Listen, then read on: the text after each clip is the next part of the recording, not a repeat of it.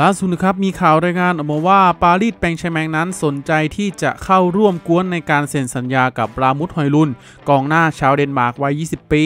ซึ่งกองหน้าคนนี้นะครับก็ตกเป็นเป้าหมายของแมนยูไนเต็ดเช่นกัน และคาดกันว่าทางอตาลันตาเองก็ต้องการค่าตัวของเขาในราคาประมาณ 80 ล้านยูโรซึ่งมันก็อาจจะทำให้ทางปารีสนั้นพร้อมที่จะจ่ายในราคานี้นะครับซึ่งก่อนหน้านี้ทุกคนก็น่าจะทราบกันดีนะครับก็มีข่าวหลายสำนักหน้าได้ออกมาเขียนข่าวประมาณว่า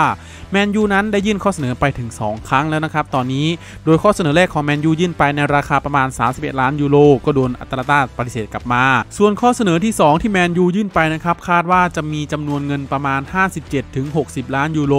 บวกกับโบนัสพิเศษอีก 8-10 ล้านยูโรนะครับนอกจากนี้นะครับก็ดูเหมือนว่าแมนยูนั้นก็จะปรับปรุงค่าเหนื่อยให้ทางลามุทารุนอีกด้วย เขาก็อาจจะได้รับค่าเหนื่อยนะครับประมาณ 7 0,000 ถึง 80,000 ปอนด์ต่อสัปดาห์นะครับ ยังไม่พอนะครับ ก็ดูเหมือนว่านักเตะเองก็เป็นแฟนบอลแมนยูอีกด้วยนะครับ เขาคาดหวังอย่างมากที่อยากจะย้ายมาร่วมงานกับเอริกเทนฮากในสีเสื้อแมนยูนะครับ ก็ต้องมารอดูกันนะครับว่าทางอัตแลนตาเองจะขายลามุนฮอยลุนให้กับใครนะครับ เพราะขั้นตอนสุดท้ายในการขายเนี่ยมันก็ต้องขึ้นอยู่กับสโมสรว่าจะยอมรับข้อเสนอของฝ่ายไหนนะครับ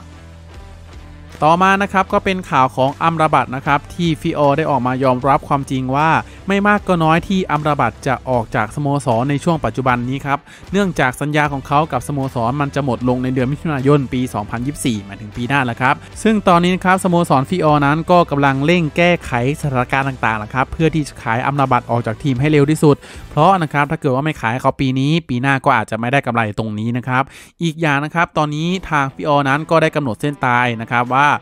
วันที่ 24 กรกฎาคม วันจันทร์ที่จะถึงนี้เขาจะสามารถเปิดขาย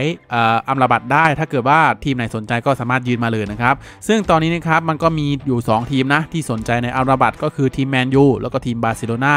แล้วก็มีแนวโน้มอย่างสูงว่าทางแมนยูนั้นจะได้ตัวอัมราบัตไปครอบครองนะครับเพราะนะครับตอนนี้สโมสรแมนยูนั้นได้เจรจากันทางวาจาแล้วนะครับและก็อาจจะยื่นซื้ออัมราบัตในราคาประมาณ 15 ถึง 17 ล้านยูโรเท่านั้นเองนะครับ และตอนนี้นะครับดูเหมือนว่าแมนยูนั้นก็กำลังจะมีงบประมาณจำกัดนะ ถ้าเกิดว่าจะซื้ออัมราบัตมาเนี่ยแมนยูก็จำเป็นต้องขายผู้เล่นส่วนใดส่วนหนึ่งออกจากทีม เพื่อระดมทุนซื้อเขาเข้ามานะครับ และก็มีแนวโน้มอย่างสูงนะที่เฟสนะครับจะได้ออกจากสโมสรแมนยูในเร็วๆนี้ เพราะมีสโมสรกาลาตาซาได้ยินข้อเสนอมาในราคาประมาณ 7 ล้านยูโร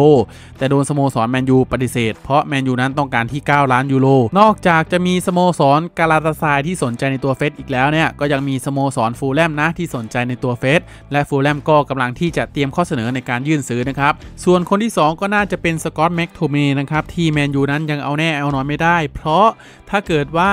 มีทีมที่ยื่นข้อเสนอมาในราคาที่พอเหมาะ ทำให้แมนยูนั้นโอเคแมนยูก็พร้อมที่จะขายสกอตแม็กโทมินีออก แต่ถ้าเกิดว่ามีทีมที่ยื่นข้อเสนอมาไม่ดีเนี่ยแมนยูก็จะไม่ขายแล้วก็จะเก็บสกอตแม็กโทมินีไว้ เพราะมองว่าแม็กโทมินีนั้นเป็นนักเตะที่อายุน้อย แล้วก็เป็นผลกำไรของจากอะคาเดมี่อีกด้วยนะครับ นอกจากนี้นะครับก็ตามรายงานของกัซเซตตาเดลโลสปอร์ตนะได้ออกมาระบุนะครับว่าอัมราบัตนั้นมีความมุ่งมั่นอย่างมากที่อยากจะย้ายมาสโมสรแมนเชสเตอร์ยูไนเต็ดมากกว่าที่จะย้ายไปสโมสรบาร์เซโลนานะครับอะรอดูกันต่อไปนะครับว่าแมนยูจะสามารถปิดดีลนี้ได้หรือไม่นะครับต่อมานะครับก็เป็นข่าวของแกรมซูเนสนะครับที่ได้ออกมาแนะนำเอริกเทนฮากว่าเทนฮากควรขายมาร์กซิยาลออกจากทีมซะ เพราะเขาไม่ใช่ผู้เล่นคนสำคัญของแมนยูอีกต่อไป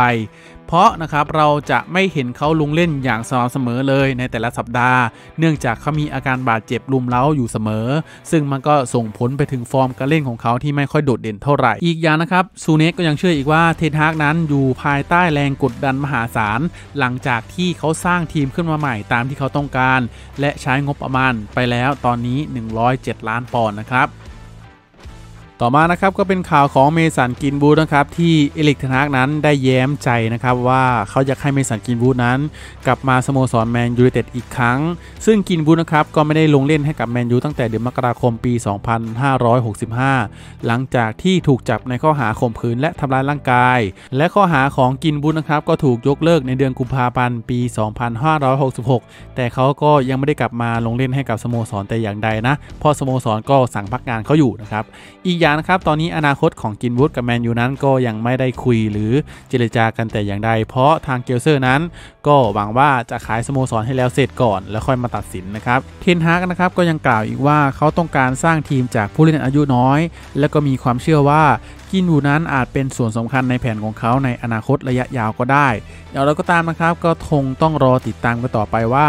กรีนวู้ดจะสามารถกลับมาที่สโมสรแมนยูได้หรือไม่ และถ้าเกิดกลับมาเนี่ยเขาก็จะสามารถสร้างผลงานที่คือเขาเคยทำไว้แต่ก่อนได้หรือเปล่านะครับ ต่อมานะครับก็เป็นข่าวของเอริกเทนฮากที่มีความกระตือรือร้นที่จะเข้าพบปะพูดคุยกับตระกูลเกลเซอร์ในช่วง pre-season ที่สหรัฐอเมริกา เพื่อหารือเกี่ยวกับอนาคตของแมนเชสเตอร์ยูไนเต็ดนะครับตอนนี้นะครับทางตระกูลเกลเซอร์นั้นยังไม่ได้ตัดสินใจว่าจะขายสโมสรแมนยูหรือไม่ ถึงแม้จะมีข้อเสนอจาก 2 คนอย่างเช่นท่านชีคกับเซอร์จิมก็ตามนะครับและเทนฮากก็ยังมีความเชื่อว่าการเทคโอเวอร์หรือการขายสโมสรแมนยูอาจจะเป็นประโยชน์สูงสุดต่อสโมสรแมนยูก็ได้ เพราะถ้าเกิดว่าเกลเซอร์ขายสโมสรใช่ไหมครับ เทนฮากก็อาจจะมีงบสนับสนุนจากเจ้าของคนใหม่ก็ได้นะครับเขามีความเชื่ออย่างนี้นะ เพราะตอนนี้เทนฮากเขาต้องการกองหน้ามากๆ ใช่ไหม เขาซื้อประตูเข้ามาแล้วเขาซื้อมิดฟิลด์เข้ามาแล้ว เหลือแค่กองหน้านะที่จะมาจบสกอร์นะครับ อย่างไรก็ตามนะครับ เทนฮากก็จะเคารพการตัดสินใจของเกลเซอร์ ไม่ว่าพวกเขาจะตัดสินใจขายสโมสรหรือไม่ก็ตามนะครับติดตามกันต่อไปนะครับเหล่าสาวกปีศาจแดง ต่อมานะครับก็เป็นข่าวของแมนเชสเตอร์ยูไนเต็ดนะครับที่ให้ความสนใจที่จะเซ็นสัญญากับลีออนโกเร็ตซ์กากองกลางของบาเยิร์นมิวนิกและเทนฮากก็ให้ความสนใจในตัวกองกลางรายนี้เป็นอย่างมาก ซึ่งมีการเจรจากันแล้วระหว่างทั้ง2สโมสร และทางบาเยิร์นเองก็พร้อมที่จะขายนักเตะคนนี้ออกจากทีมนะครับเนื่องจากเขานั้นไม่ได้อยู่ในแผนทำทีมของโทมัสทูเคิ่ลในฤดูกาลหน้าอีกด้วยและดูเหมือนว่าทางสโมสรบาเยิร์นเองก็ต้องการค่าตัวจากโกเร็ตซ์กานะครับ ประมาณ 30 ล้านปอนด์และเทนฮากก็ยังเชื่ออีกว่า การมาของโกเร็ตซ์กานั้นจะมาเพิ่ม dynamic ให้กับทีมแมนยูนะครับ ต่อมานะครับก็เป็นข่าวของไซออนซูซูกินะครับที่ตอนนี้สโมสรแมนยูกับสโมสรอุราวะเรดส์ก็กำลังเจรจาให้ดีลนี้เกิดขึ้นจริงๆครับเนื่องจากว่าไซออนซูซูกินะครับก็จะมาทดแทนตำแหน่งของดีนเฮนเดอร์สันที่เขาจะย้ายไปร่วมงานกับนอตติงแฮมฟอร์เรสต์ตอนนี้ก็ดูเหมือนว่าทางสโมสรอุราวะเรดส์นั้นจะประสบปัญหาทางด้านการเงิน ถ้าเกิดเขาขายไซออนซูซูกิออกจากทีมได้แล้วก็เขาจะเอาเงินเม็ดนี้นะครับไปแก้ไขปัญหาในส่วนนั้นนะครับคาดว่าไม่ช้าก็เร็วนะสโมสรแมนยูก็อาจจะปิดดีลมือประตูอย่างไซออนอนซูกิจากลีกญี่ปุ่นได้นะครับ ต่อมานะครับก็เป็นข่าวของแฮร์รี่แม็กไกวร์นะครับที่เทนฮากได้บอกกับเขาว่าเขายังเป็นผู้เล่นคนสำคัญของแมนยูอยู่ แต่เขาต้องต่อสู้เพื่อแย่งชิงตำแหน่งตัวจริงในฤดูกาลหน้านะ เขาต้องโชว์ฟอร์ม และเขาต้องโฟกัสในการเล่นของเขาให้มากที่สุดนะครับ ซึ่งตอนนี้นะครับแม็กไวนั้นก็ถูกวิพากษ์วิจารณ์เกี่ยวกับผลงานของเขาในฤดูกาลที่ผ่านมา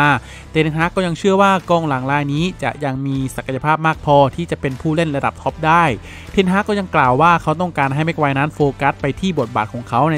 ในตำแหน่งเซนเตอร์แบ็กและสื่อสารกับเพื่อนให้มากกว่านี้ แม็กไวนั้นคาดว่าจะเผชิญการแข่งขันนะครับที่ดูเดือดเพื่อแย่งชิงตำแหน่งตัวจริง ที่แมนยูไนเต็ดในฤดูกาลหน้า แต่ก็หวังว่าเขาจะสร้างความประทับใจให้เอริกเทนฮากได้นะครับ และได้รับตำแหน่งกัปตันทีมคืน ดูเหมือนว่ามีหลายทีมนะครับที่ให้ความสนใจแฮร์รี่แม็กไวนะ แต่จากสถานการณ์ของเขานะครับ ไม่ว่าจะเป็นฟอร์มที่ไม่ค่อยโอเคเท่าไหร่ และค่าเหนื่อยที่แพงเวอร์เกินไป ค่าตัวที่แพงเวอร์เกินไปเนี่ย เลยทำให้สโมสรเหล่านั้นน่ะไม่สามารถที่จะเสี่ยงตรงนี้ได้นะครับ โอ้ยแม็กไวเอ้ยเวรกรรมอะไรของมึงเนี่ย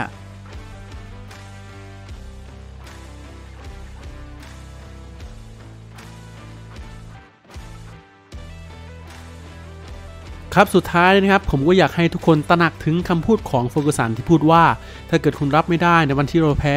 คุณก็อย่ามาเชียร์เราในวันที่ชนะเลยนะครับดังนั้นผมอยากให้พวกเรานะครับเหล่าสาวกปีศาจแดงทุกท่านนะครับรวมแรงร่วมใจกันเชียร์ไม่ว่าจะแพ้ ไม่ว่าจะชนะ เราก็จะเชียร์ปีศาจแดงไปด้วยกันนะครับเพราะเราคือสาวกปีศาจ